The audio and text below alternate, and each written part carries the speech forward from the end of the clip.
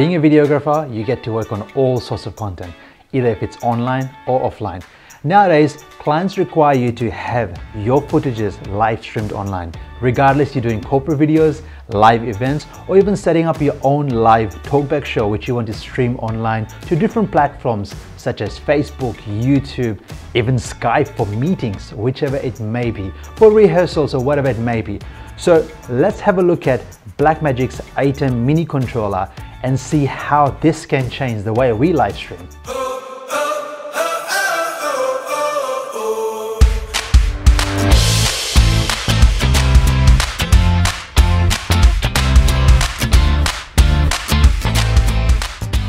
I've used many systems in past for live streaming, yet Blackmagic's ATEM mini controller has to be the smallest and the cutest system that is available right now. For me to be able to connect up to four cameras, four independent cameras and live stream according to how I like.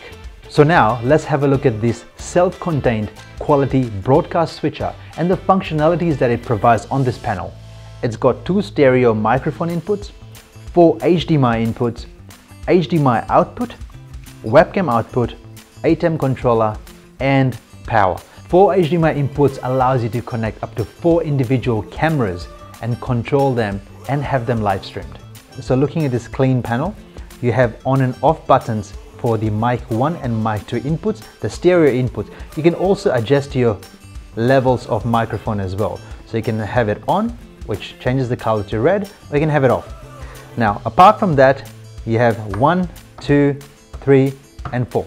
So as you can see, I've got four cameras connected here. I'll show you what's behind me as well. So this is camera one, which is up here. This is camera two, which is on the side right here. Camera three, which is right in front of me. And then camera four, which is behind me. So that is how I've got my setup done here today. And I'm gonna show you how this entirely works.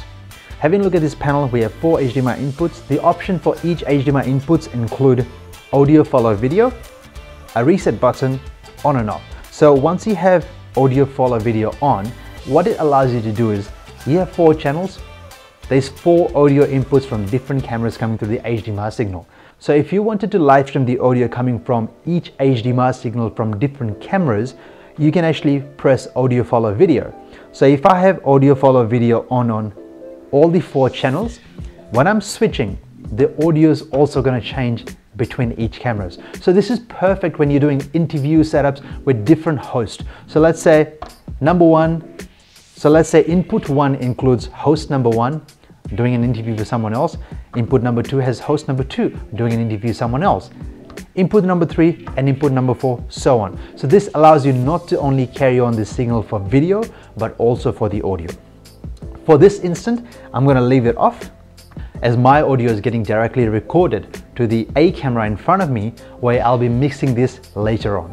We have the option of having picture in motion. So let's just say I have my main camera on and if I wanted to have this top camera on the top left hand side, I would just select the top left hand side and press it on. So now we have this front camera and this top camera on the same screen. There are transitions built into this system, so you don't have to fiddle around with softwares or additional modules to be able to do that. Having this functionality and also being able to choose the duration such as half a second, one second, 1.5 second and two second allows you to choose how fast the transition is going to happen between the four cameras. So now you can see how easy it is to mix all of this footage together from the front camera to the top camera to the side camera. Out of the six transitions built into this unit, my favorite has to be the mix, which is very similar to cross dissolve. Let's have a look at how I've set up this device, what each input and output does, and how I'm utilizing this system to go live. So as you can see, my camera one is mounted up there. Camera two is right in front Camera 3 is on the side and camera 4 is what I'm using right now. Utilizing a USB Type-C cable, I've connected the ATEM mini controller to my MacBook Pro. I have used this software called OBS which directly gets my input from the ATEM mini controller to my laptop which now allows me to stream live from my laptop to whichever platform that I require. I've taken a HDMI output from this Blackmagic monitor which is recording the content from this switcher to a monitor so I can preview on a bigger screen on how my videos are changing. Now finally on my master camera, I have connected a wireless transmission device and connected a wireless receiver directly connected to the ATEM Mini, which allows me to have a camera on board which can move anywhere without having the hassling cables and things strangling around. So that's my setup that I'm using with the ATEM Mini controller.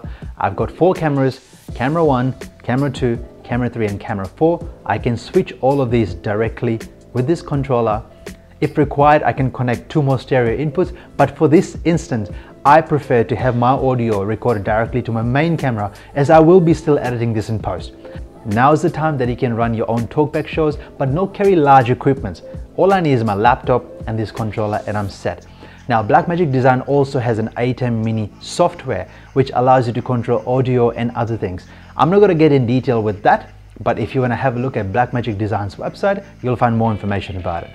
Hope you like my setup for the ATEM mini controller. I am planning to go live on Facebook and YouTube later in the future to have a talkback show with other cinematographers, producers to talk about filmmaking. Now in meanwhile, please like, subscribe, leave your comments below and tell me how would you use this controller to change the way you go live.